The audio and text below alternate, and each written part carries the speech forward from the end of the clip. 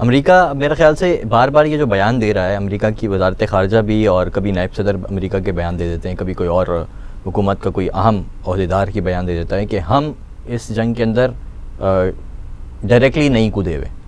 हम सपोर्ट करते हैं Israel has the right to defend itself लेकिन हम फिर भी ख़ुद से ना हम इस जंग के अंदर शामिल हैं और ना हम इस जंग के कोई किसी तरीके से सपोर्ट कर रहे हैं।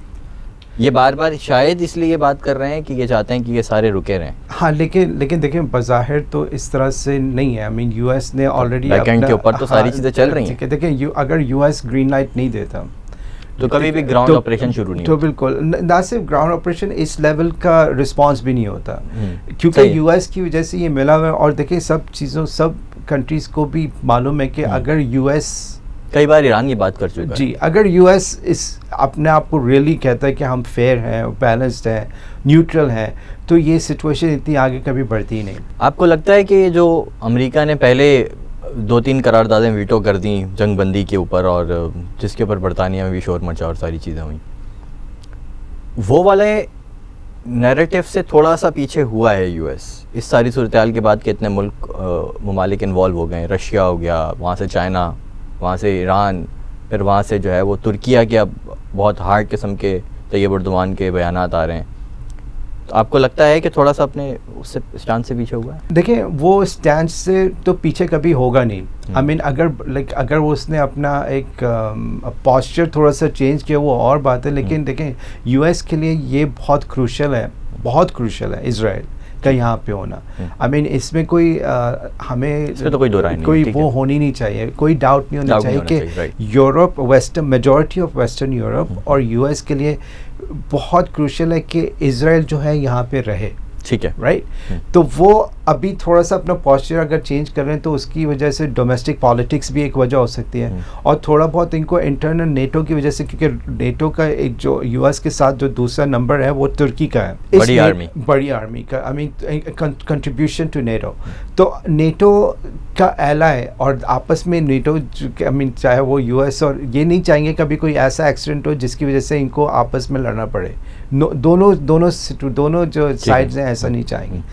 इसीलिए यूएस के जो अभी जो कुछ एडवाइज़र्स भी आए हुए थे वो वापस अपने उस पर चले गए। वो इसराइल में थे थोड़ा अर्से के लिए लेकिन वापस चले गए कि अब जो है ना उनको लग रहा है कि ब्लो बैक होने वाला हो और इसराइल के पास वो कैपेस कैपेबिलिटी नहीं है कि वो अपने जो उन्होंने जो मकासद जो दो मकासद रखे उनको फुलफ़िल कर लें हंड्रेड परसेंट इसकी वजह से नेतन्याहू के ऊपर भी डोमेस्टिक अपनी पॉलिटिक्स में प्रेशर है। हम्म। कि आई मीन जो आपने रखा हुआ कि हम ये हम हमें अगर जीतना है तो we have to accomplish these two points लेकिन वो हो नहीं पा रहे हैं वो दो पॉइंट्स हम्म। जिसमें ये ये ये तो हो रहा है और इसके अलावा जो इन्होंने ग्राउंड ऑपरेशन किया है चार बार नाकाम हो चुके हैं बिल्कुल नाकाम हो चुके हैं राइट राइट हम्म। तो तो ये ये चीज़ उनके लिए I mean of course not not only that लेकिन uh, जब जो ये सारा सिलसिला जो शुरू हुआ है हम्म। ये भी एक देखें उसके भी दो नज़रिए हैं I mean a lot of people inside Israel ये भी आर्ग्यू कर रहे हैं कि ये सब एक इनसाइडर जॉब थी।